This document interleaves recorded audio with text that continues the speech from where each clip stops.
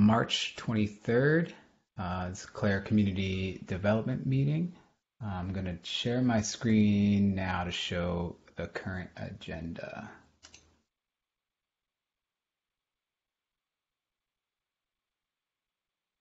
You guys see it all right?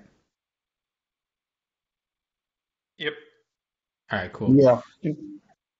So a couple participants today, myself as always, Hank probably as always. Uh, then we have Ivan and uh, Aaron. So Ivan, you want to introduce yourself real quick? Yeah, sure. So my name is Ivan. I'm uh, Quay slash Clair support engineer working from EMEA, currently in Ireland. Hopefully that will change sometime in the future. Um, thanks for invi- thanks for inviting me to this meeting. No problem. And then Arun.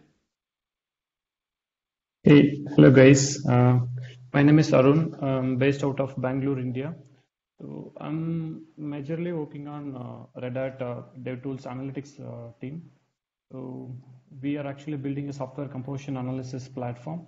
So mostly um, uh, you guys will will see me uh, working on various integrations, uh, like integrating our SCA platform with the various tools like VS Code extension, IntelliJ, and Clair. Yeah, that's what I do. Very cool.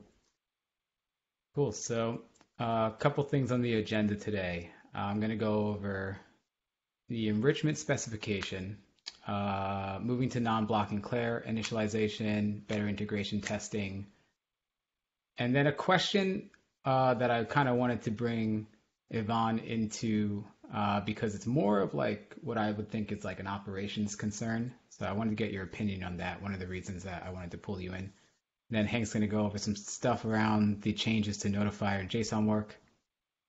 Uh, Ivan uh, wants to talk a little bit about CentOS, and then Arun's going to introduce uh, their remote matching concepts that he added to Clair. Um, so first things first, the enrichment specification. Um, we have this repository.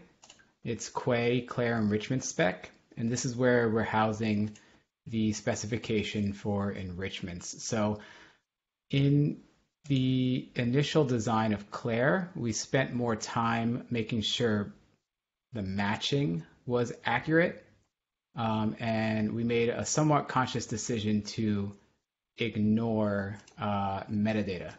Uh, as you know, there is some valuable use cases around uh, metadata for NVD and even extending the concept further, um, Red Hat container grades and other kind of scoring mechanisms to understand how vulnerable not just particular vulnerabilities are or the severity of particular vulnerabilities, but also how vulnerable or what's the grade of a container as a whole, right? So we want to hit those those two concepts. We want to bring those back into the equation.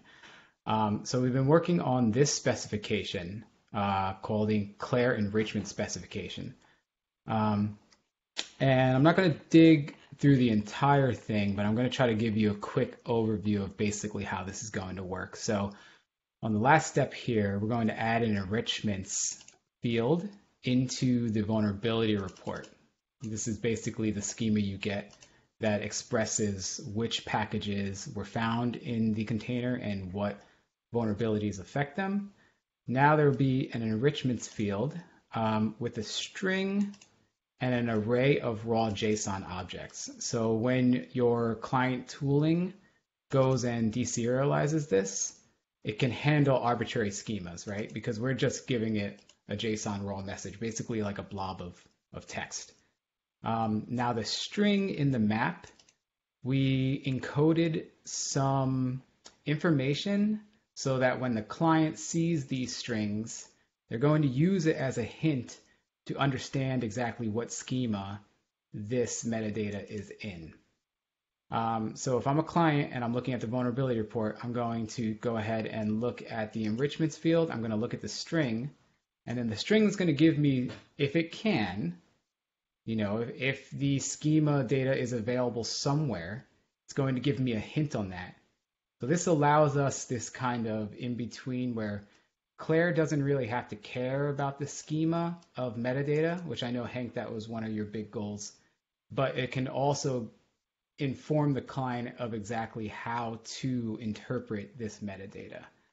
Um, so the next obvious thing your brains are probably doing is like, okay, how does that key work, right? So inside uh, this topic, the MIME type usage, this defines exactly what that key looks like that the client's going to find um, on that enrichment data map. Um, I won't dig too much into it because it, you know, it's all here. You can basically read the specification, uh, but it provides a MIME type like well, I guess it is a MIME type. We follow the same structure. Um, it provides a MIME type which kind of expresses um, the container format. I'll get into that in a second. The enricher, which is the enrich, uh, the updater inside of Clair that actually put this data into the database. A schema. So now this is the important part. When the client is looking through uh, the enrichment data. If it finds a schema, that's great, right? It can go right out to the internet, grab the JSON schema file, and understand the metadata. We have a mechanism placed in here that if the schema is not net hosted, um, there is no place to retrieve it from. You will be able to place a well-defined type in there, which really just means that you've created a type, you've documented it in our documentation, and that the client can go to the Clair core docs and actually look up that type to understand how it works. And then if it decides to place no data, uh, no schema data whatsoever, then the client, you know, is probably a dynamic language like Python, where it's just saying, hey, I don't even care about the shape of this data. I'm just going to forward it to a GUI or something like that. Um, so now you might be wondering about this portion right here. So this is a concept we have uh, where we defined container MIME types. And what this allows is basically you to wrap the NVD data with an associated vulnerability ID. And why we do this is because most of the time, when you're looking at enrichment data, you want to map it to a vulnerability. So this just is that glue work, right? So if I'm a client and I see this uh, MIME type, then I know that the data is going to be wrapped in a map, and I'll be able to say vulnerability 18 has this metadata associated with it. So that's just how we link it together. Um, the rest of the spec is mostly just plumbing. Uh, the spec basically just piggybacks on all the already implemented updater work or updater content uh, business logic and, and whatnot, we already do this, right? We do it with vulnerability data. So now we're just extending the concept uh, to enrichment data. Uh, we called it enrichment because we're enriching the vulnerability report with auxiliary data. So that's the specification. Uh, inside here, I've started working on the implementation. So this is the you know the nitty gritty. Uh, this will probably get parsed out into actual tickets in our ticketing system. Um, and this can be read over to understand literally the code changes we're going to make to to make this uh, specification work. This is still in a little bit of review. I think we're getting it into a pretty good place, um, but I do uh, suggest that anyone that's interested in you know the current state uh, that we do not have, well, that we have missing severities uh, for particular vulnerabilities. If you're interested in that and why that is and how we're going to fix that, then you'll probably want to go and actually take a look at this Clair enrichment spec. This is slated for Quay 3.6. Uh, it might be, it will, I'm assuming it'll be upstream before then. Um, but yeah, so that's the enrichment spec. Just keep it in mind, it's, it's currently being developed. Uh, and it's the whole purpose is to bring back metadata into Clair's results. Cool. So let me get back to the agenda. So the move to non-blocking Clair initialization. Um, currently in Clair v4, the stable release, the, the releases we ship with Quay, the matcher completely blocks until everything is updated, uh, or at least we run a full update interval. So obviously there's some downsides to that, right? Uh, like we blocked everything. We didn't even return uh, like health checks. Uh, the entire thing locked up. So we just changed that concept. I think after spinning around with it uh, and some group discussion, we're moving to uh, the stance where Clair does not block, but Clair will return a particular HTTP code if it's not initialized. So the history here and the and the way we even got here is that there's been a lot of tickets around bad responses in Clair v2. Um, responses where the database isn't initialized, so it says, "Hey, everything's okay," uh, but it it wasn't. There was just no data in the database yet. So that was one of the first tickets we got, and Ivan, I'm sure you're aware of that issue too, because it's just an ongoing, it was an ongoing thing about how to actually do this correctly. So where we landed was um, it won't block, so you can actually use the service, and we're going to return you an HTTP code that a client can basically ask for vulnerability reports until they get a 200. Now, if your client, you know, doesn't really care that much about accuracy, they can take what they, they can take what they get. Because while we're updating, we'll still return vulnerability reports. They're just not complete data. So now you have the you have the option. You can either take what you get real fast, knowing that you might request it a little bit later, or you can have the client sit there and wait for a 200 and then return the vulnerability report. So that's kind of how we're approaching that problem.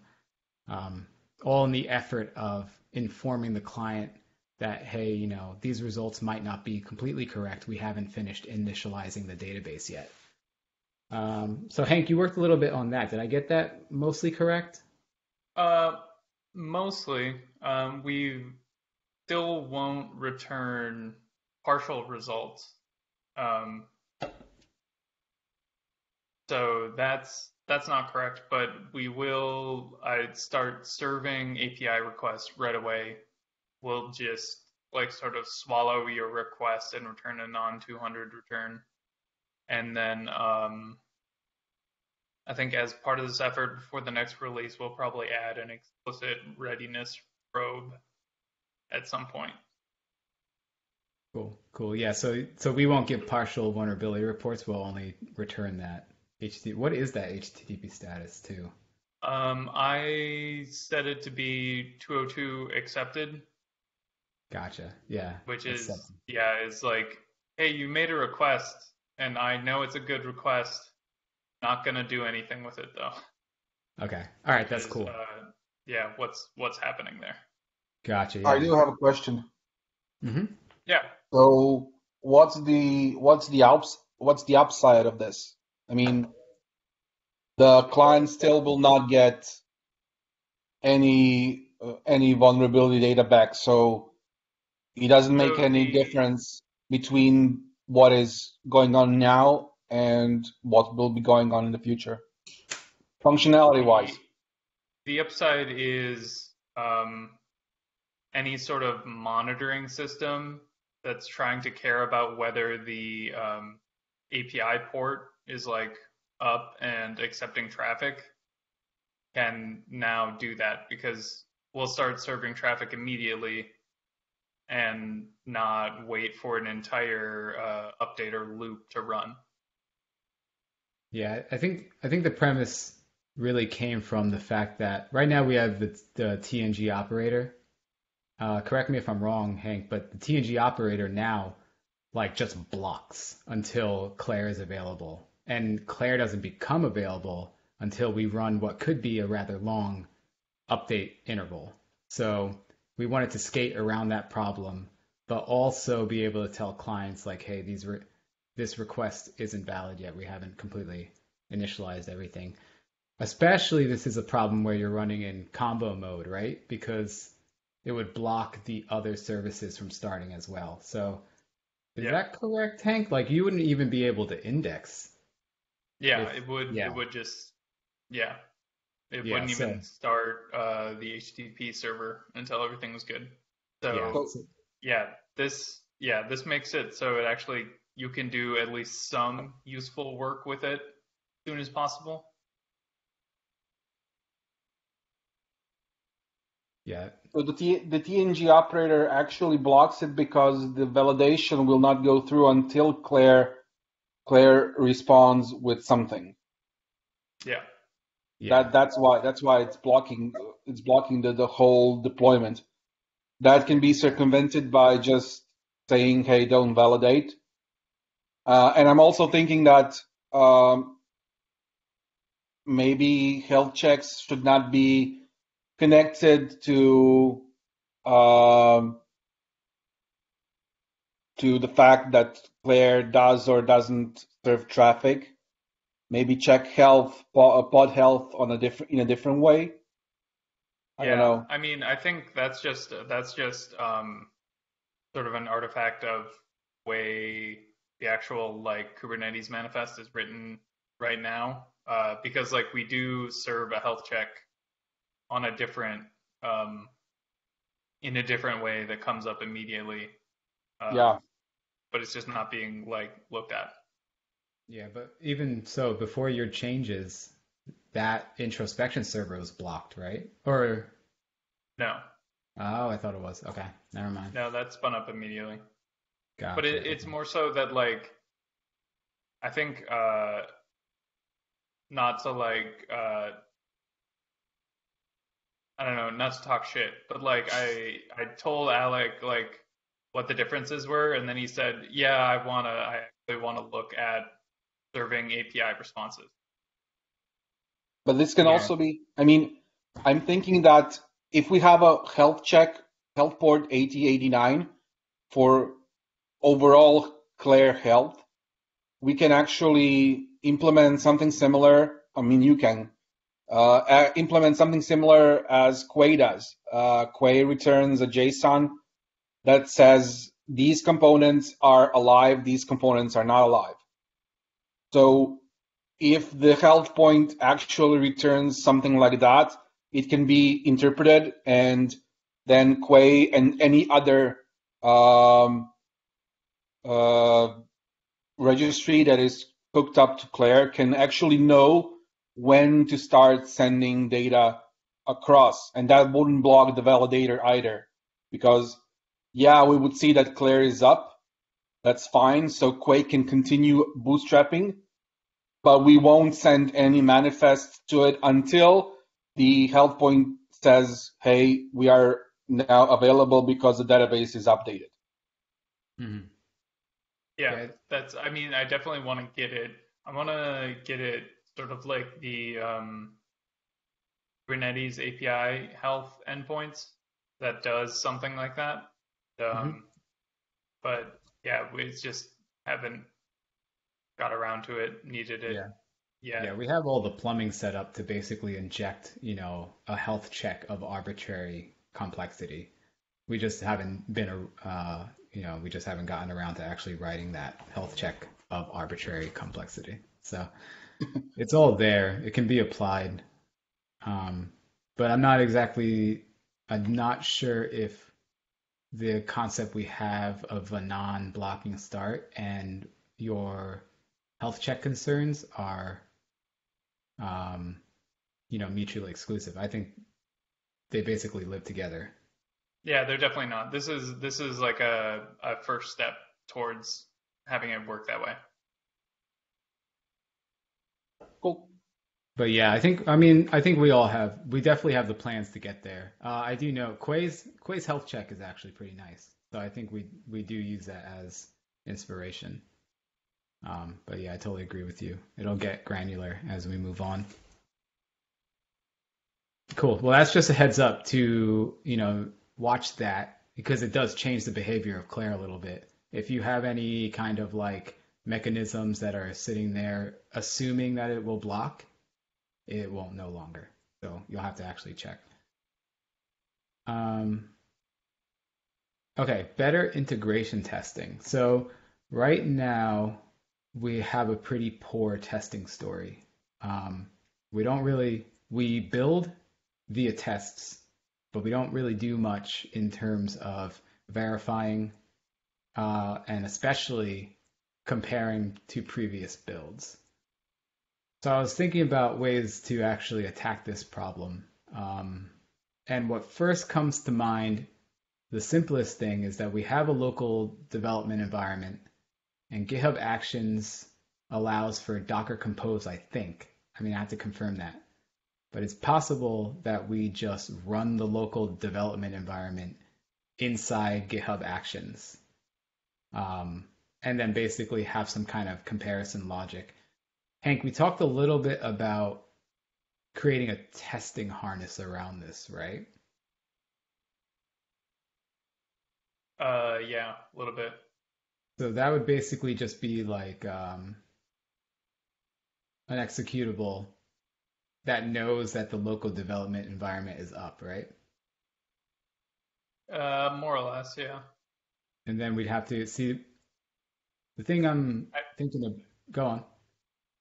Yeah, I think the like the actual machinery to spin up of everything we support and configure it to talk to each other isn't, I don't know, super interesting.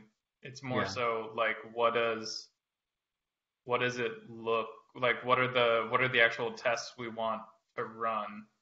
Because right now it's uh, it's pretty fuzzy as to like what um,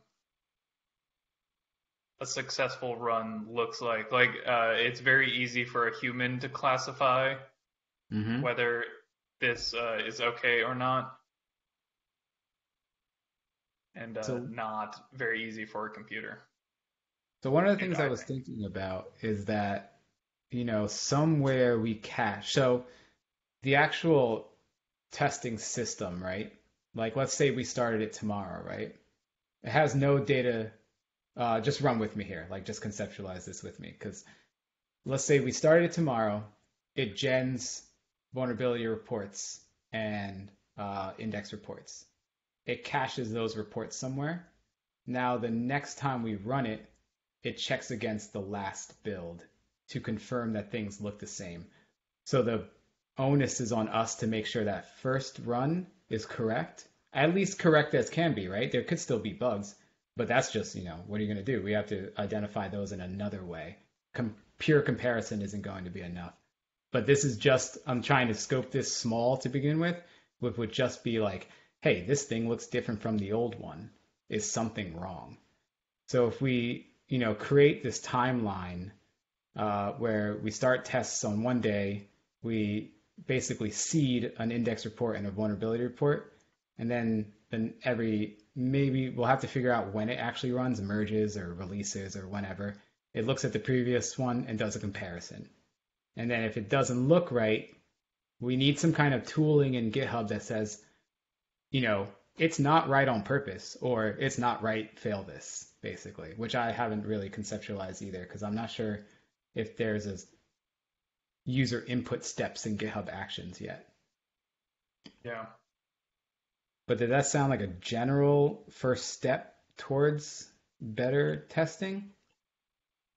Yeah, I think I think that would be I think that would be okay.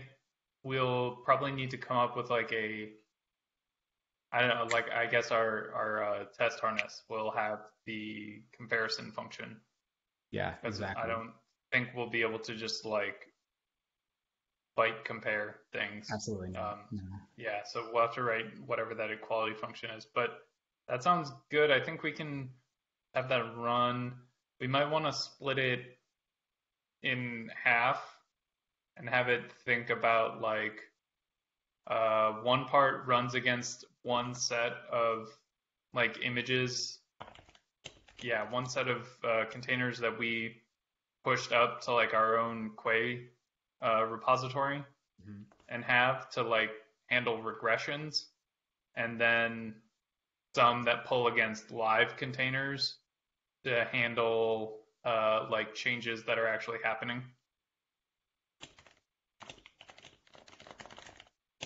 If that makes sense. Definitely. Live containers uh, to evaluate any new bugs, basically.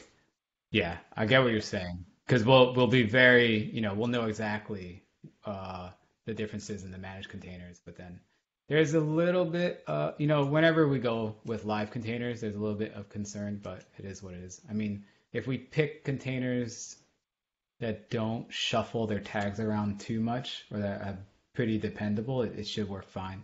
But I, I do see Yeah, and we can set up cron jobs to pull things locally so that it doesn't like break CI Yeah, and yeah, that makes them. sense. Yeah, yeah, yeah.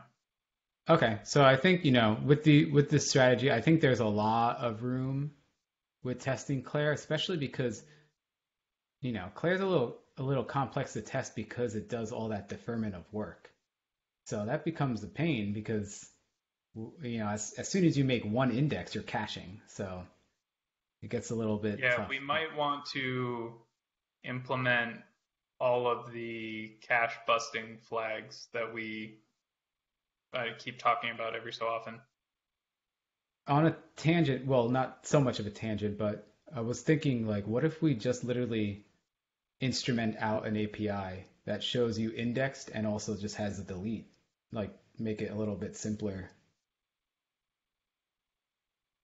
Yeah, we could do that. I think this is the second this is the second thing that's come up that makes me a little wary that someone might want that to be behind Mm-hmm. uh, an of system. Yeah.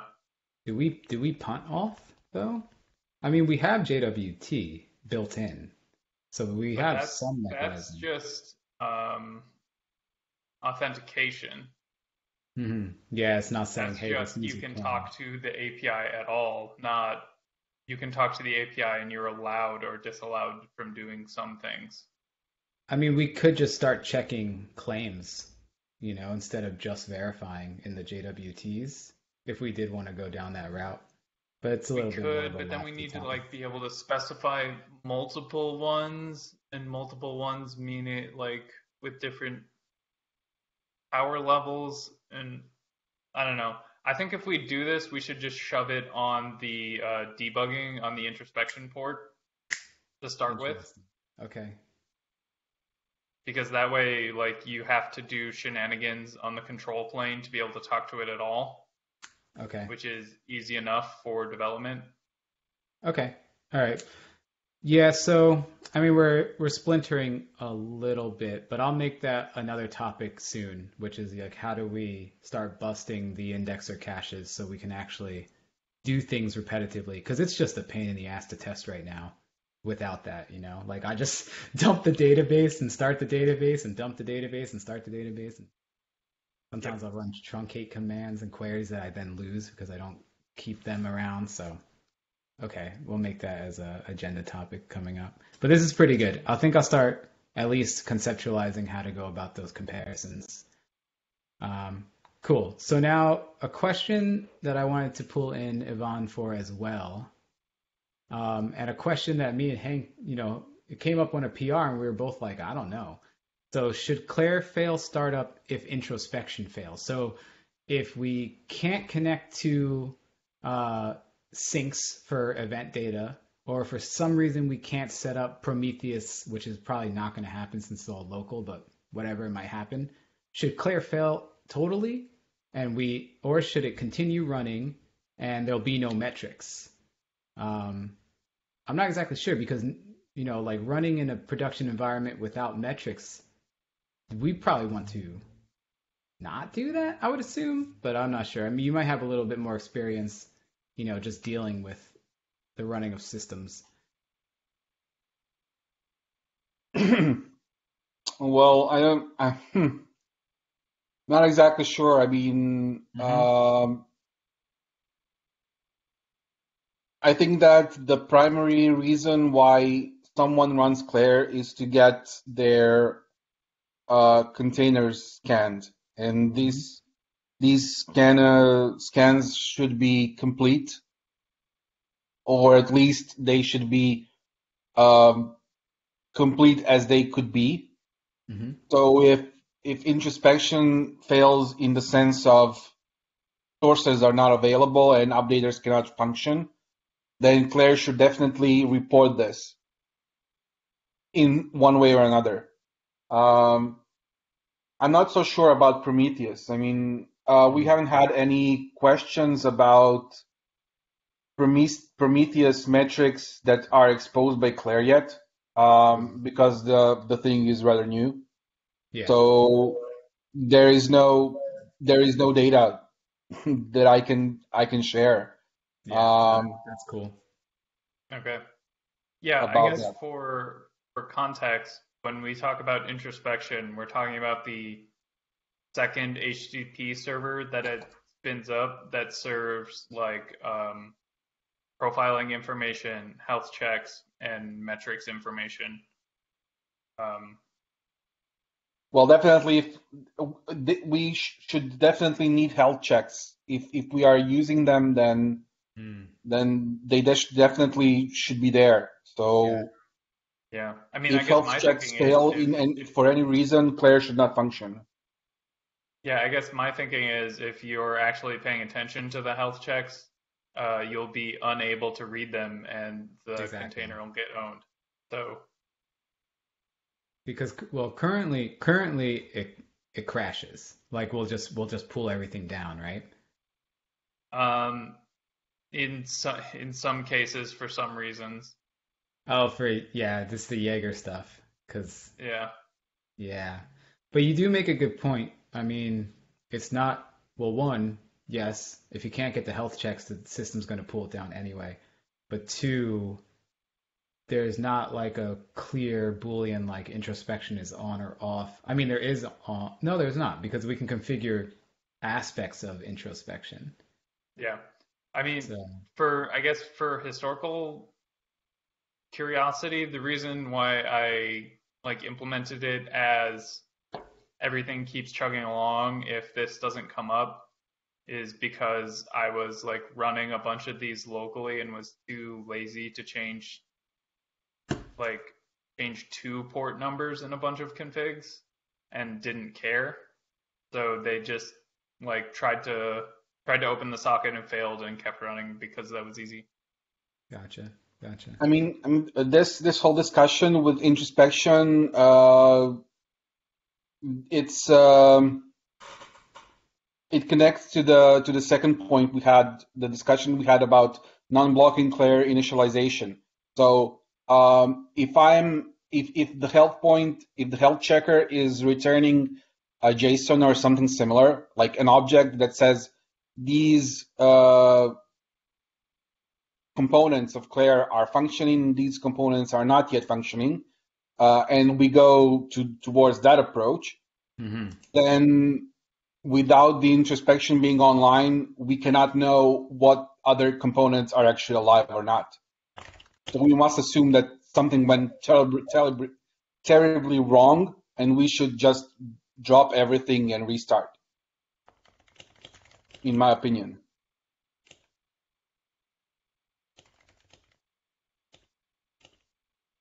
Yeah, that's fair. Yeah, I, yeah, I guess this is sort of a question of how much uh, misconfiguration do we want to tolerate, and I guess if you frame it like that, my answer is less. hmm Okay. No, I, I think that's a good point too. Uh, it seems like, you know, I've made a note here that an emphasis on a good health check is going to kind of clear the fog on a lot of these questions that we have because it does, it will provide some granular details about what's actually working and what's not. Yeah. But at that point, we can make a more educated decision about, you know, does the client pull it down for that reason? It maybe moves the responsibility of what's acceptable to not on us. Uh, in in my opinion, uh, we we could tolerate uh, Prometheus going down. Um, I don't see it as a highly critical component. Metrics can now- can can be like restored um, at any point. But if the introspection itself, like the health checker, is down, then then no, Clair needs to be restarted.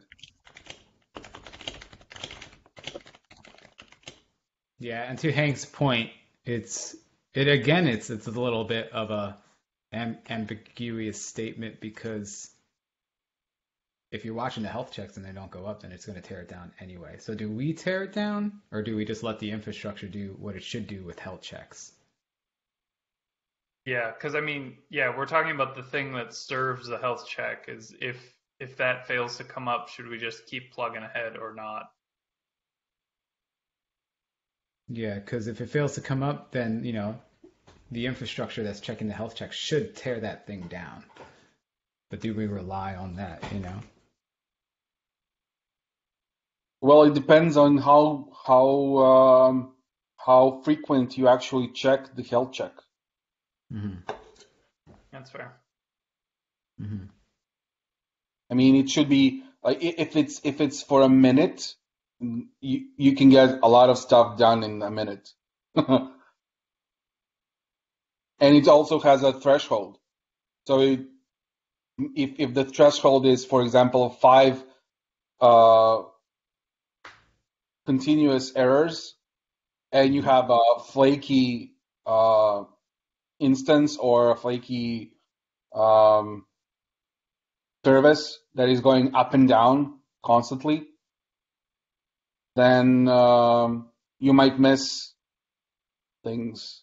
I don't know. Yeah. All right. Okay. Yeah. Yeah, it's getting a little tight here. So, Hank, you want to do the notifier JSON? Oh, sure. Um, so I, at one point a week ago, two weeks ago now, uh, was working on the notifier. Um, we think we need some like structural changes to the notifier. Um, because the way the way it works now is it um, sees an update like takes that one update, processes everything in one node's memory, um, and then sends it off to be delivered. Um, so that probably be or uh, yeah, because of like the way the Red Hat um, Container databases catalog. are structured. When they show up for the first time they might be quite large um, and they're showing up they can show up at any time. It's not like we can just whitelist new ones. Um, so so we need to like split that into a i don't know checkpointing work model uh, that gets spread across everything and um, I both so I started on the design that, of that a little bit, uh, but before that I did some efficiency work, which included um, reworking how we handle JSON. Um, so now we should be doing streaming JSON serialization everywhere in Clair, uh, which just uses less memory and should generally just be strictly better. So when I'm working in uh, the HTTP layer now, are there changes I need to consider? Do I have to use the codec package now that you added?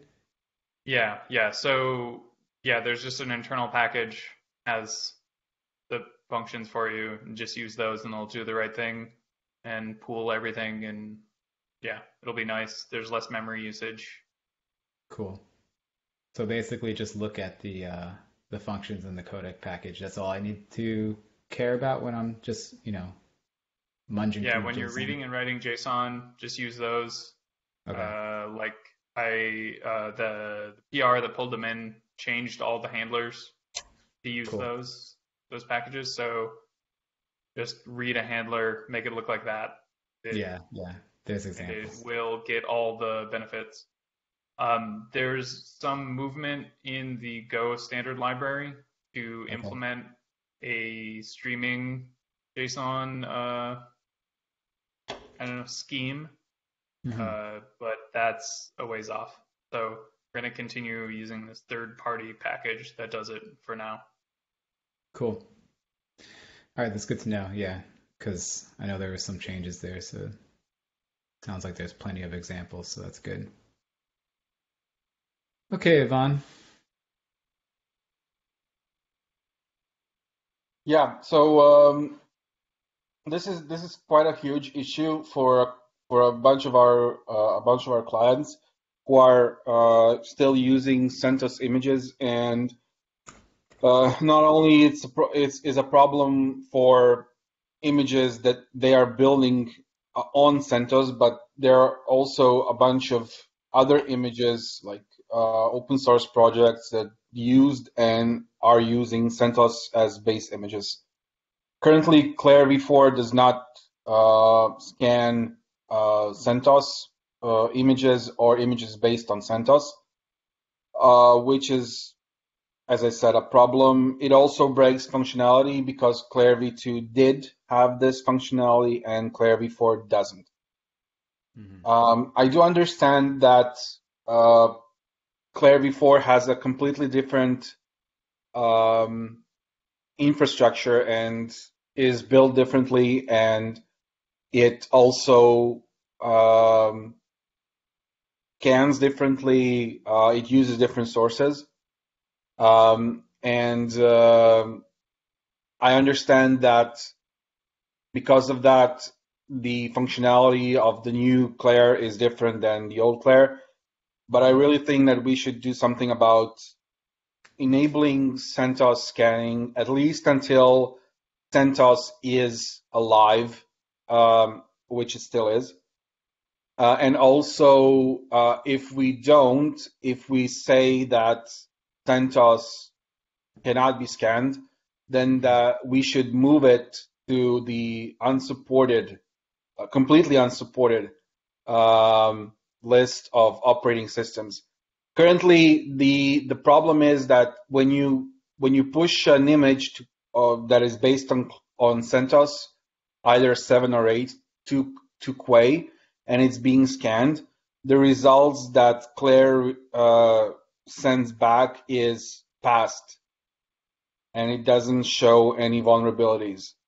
And we had a case uh, where a client pushed the same image to uh, Quay.io and their uh, Quay local, and Quay.io returned a bunch of vulnerabilities while their local Quay did not.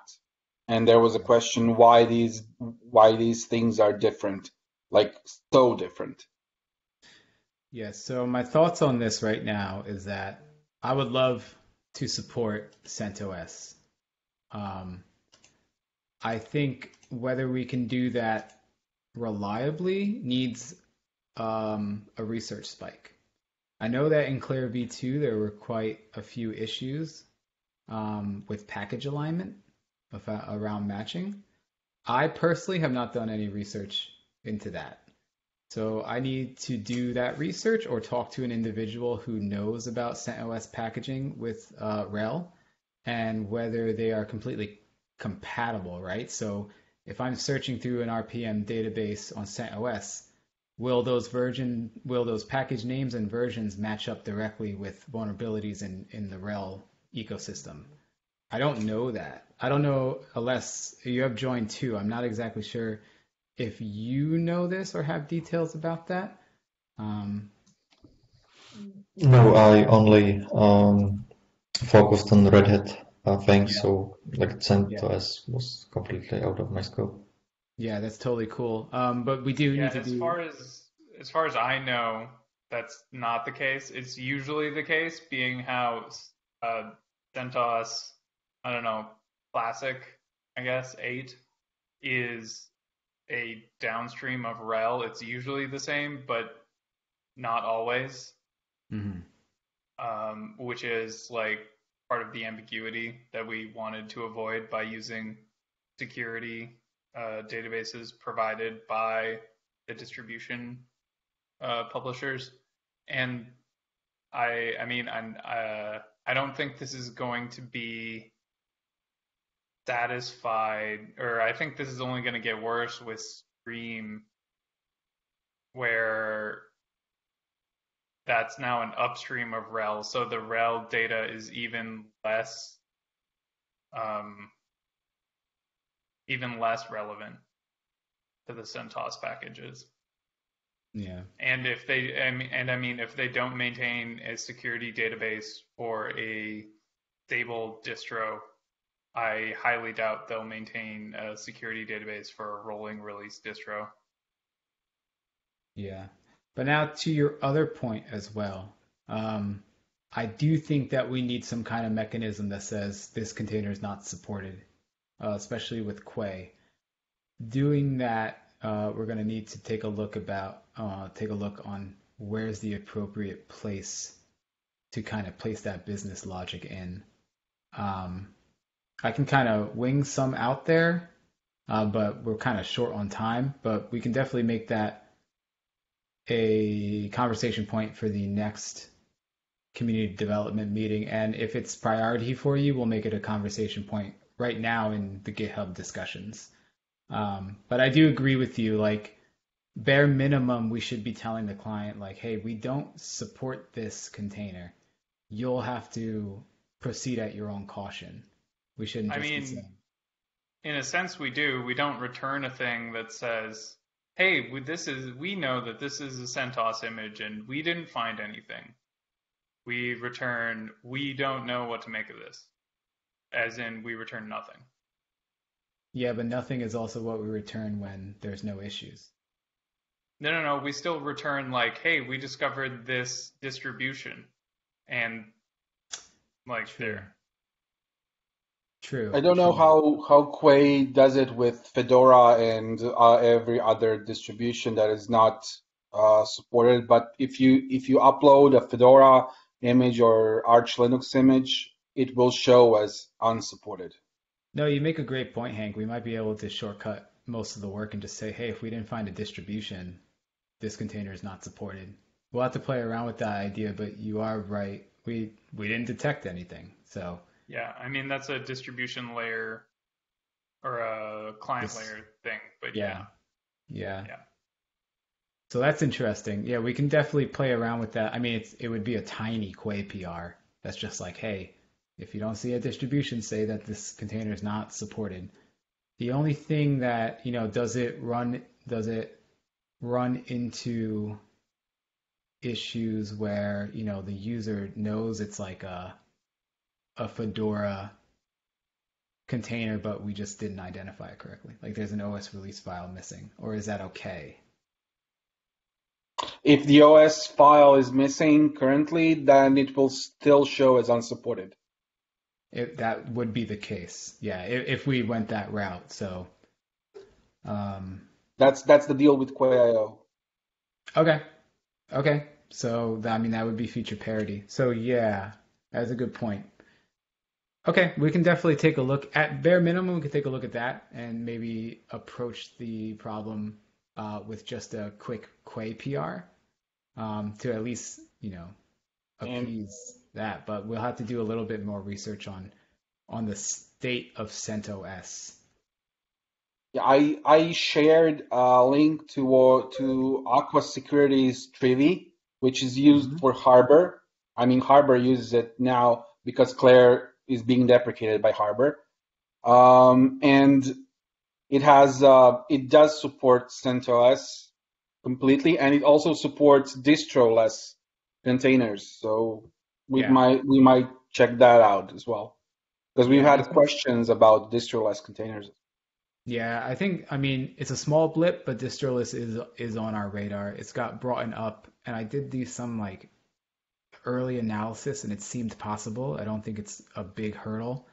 Uh, we'll just have to take a re-look at it. But I do agree. I think that's a hot topic, and I don't think it's really that hard for us to support at this time. So we'll put that on the radar. Um, so let me. s- Okay. Um, I'll type up some notes a run if you want to go over remote matcher. Uh, Ivan, are you are you good with all that? Yeah. Okay, I'll type up some notes that run. You can just start. Yeah, sure. Uh, shall I take the screen? I have a little presentation. Yeah, no, definitely. I'll stop. That's awesome.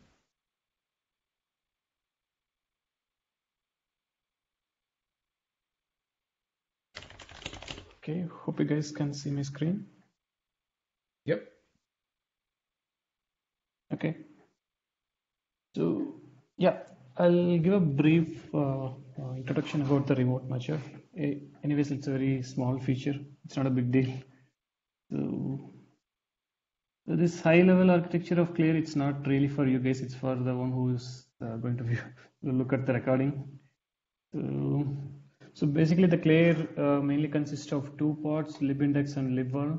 Uh, the libindex uh, is responsible for uh, extracting the package and version from the container layer and it produces the index report and uh, the index report is fed into the libvuln which basically consists of two major parts, matcher and updater. So the updater fetches the uh, advisories from various publicly known sources and populates the database and matcher uh, basically matches the index report with the database and produces a vulnerability report. So yeah. So this is how a Clair look like with the remote matcher. Basically, the remote matcher uh, combines the functionality of matcher and updater, and it's a kind of a parallel implementation. It bypasses the uh, actual matcher and updater uh, uh from the uh, libvuln. Uh, yeah, so it doesn't actually replace. It's a kind of an add-on to the existing matcher infrastructure. yeah. So basically the, the purpose of the uh, remote matcher uh, is to talk to an external uh, service from where uh, uh, you can get the vulnerability uh, matching done. Uh, uh, the main purpose of this is to leverage, for example, like the security vendor API, where you may not get the complete database to populate into your local database, but you can make use of the security vendor APIs and do the matching and also uh, you can use it for the use cases like where your org has a set of uh, uh, packages white I mean uh, the allow list packages. And you want to check the container against that allow list. And if you don't want to ship anything which is not in the allow list.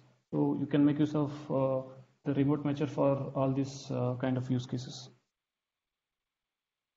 And okay so why do we want to do this specifically for the work which we are trying to do. So uh, before getting into the nitty gritty, like uh, I just want to give some introduction about our uh, platform, uh, which uh, we have in Red Hat as part of DevTools team. So the team name is Red Hat Code Ready Dependency Analytics. We usually build the software composition analysis platform which is focusing mainly on the security analysis, uh, dependency analysis, and license analysis. Uh, and we have basically it's a hosted platform. Uh, it is hosted in uh, OpenShift uh, OSD, and it exposes a set of RESTful endpoints to do perform all this analysis listed over here. so also we have various integrations in place like VS Code, IntelliJ, where you'll get in IDE security analysis experience. So we can do all uh, all the security analysis without leaving your IDE. Uh, and also like currently we are focusing on integrating our platform with Clair uh, so that you can, uh, I mean, you can do the same with the container scanning as well. Uh, so right now our, uh, is, uh, our platform supports four ecosystem python node maven and go so we support vulnerability analysis for all these repositories and the main point here is that uh, our data vulnerability data partner is Snyk. Uh, most of you folks already would have heard about Snyk and they provide a very uh, reliable and good uh, vulnerability database. It's a high level overview about our platform and yeah, I can skip this. Okay, so the main reason for building this uh, remote matcher uh, implementation is that our security uh, data partner is not allowing us to share the database uh, to the Clair. Uh, actually, they want uh, the data to be served uh, through our layer, uh, through our hosted layer. So that's why we, we built this remote matcher concept with the help of Luis. Yeah, so the next one, yeah, so this one is like suppose if you are a VS Code fan, probably if you want to uh, see what we are really doing, you can just download this extension and give it a try. Uh, it got a pretty good download. Yeah. So yeah, so this is what finally we are trying to realize. Like as I said, uh, uh, we want to make use of the hosted API, which we are exposing uh, from the Clair. Uh, so basically, uh, we want to uh, propagate all this information to the OpenShift uh, Dev console through various layers. So from from the remote matcher, it will go to the Clair. then from Clair, it will go to the Quay, and from Quay CSO through a CRD, it will reach to the OpenShift Dev Dev console. Uh, where the developers can see all the uh, vulnerabilities associated with their container image which is deployed into the cluster. So this is a pretty long path, but yeah, it, it, it is working. Yeah, that's what we are really trying to achieve with this remote matcher concept. Yep, that's it, folks. Very cool. So, um, will we eventually see language support in Clair um, with extended to that supported language support list that you had. Um, is that the overall goal? Uh, because right now I know that you have something in flight for Java, but is your expectation to continue the same path to get Python Node, you know, Go uh, into the remote matching facilities in Clair? Yep, yep, definitely, Luis. So as you as you said, like uh, currently the Maven support is uh, in flight. Uh, so basically the indexer part of the Maven is done. It's kind of in the uh, testing phase. Uh, anyways, like the remote matcher uh, uh, out of box supports all four ecosystem mentioned over here. the only thing is like we need to take care of the indexing part. Very cool. Yeah, I mean that'll be a great addition. There's a little bit of caveats with remote matching and notifications. I don't I don't think we have a great way to bridge them together because notifications requires us to understand when uh, databases have been updated. And because you have a remote database here, we don't have that concept.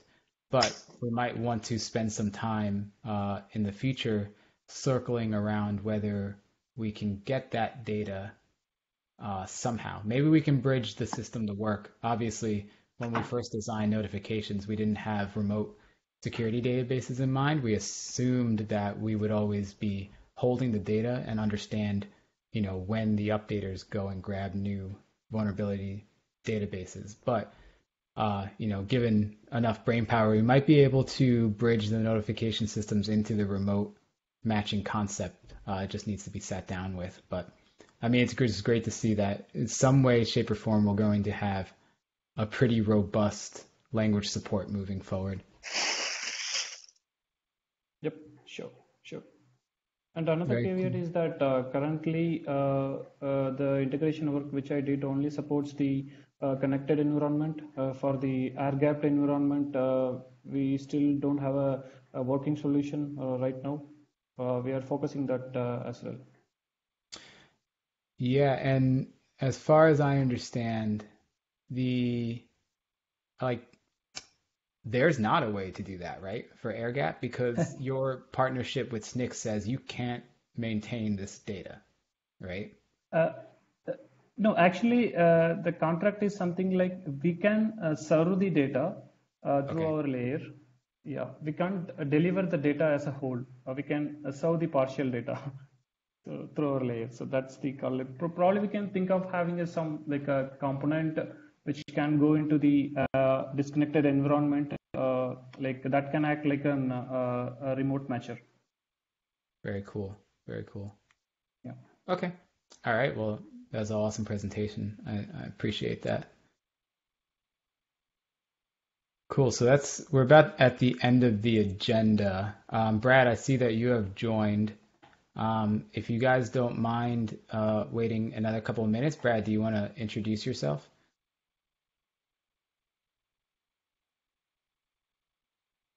Good morning. Um, yeah, hi, I am. I don't know if my video is working. There we go. Uh, so yeah, I'm Brad um, from AWS ECR team. Uh, we are currently using for our image scanning solution. We're currently using Clair v2, um, and we are looking at migrating to Clair v4. Um, yeah, just trying to get a, a feel for the roadmap and what's going on and what's what's coming down the pipeline. Very cool. Yeah, we recorded this session, um, so you'll be able to play back anything. We're actually at the end of it now. Um, but did you have anything you wanted to bring up specifically?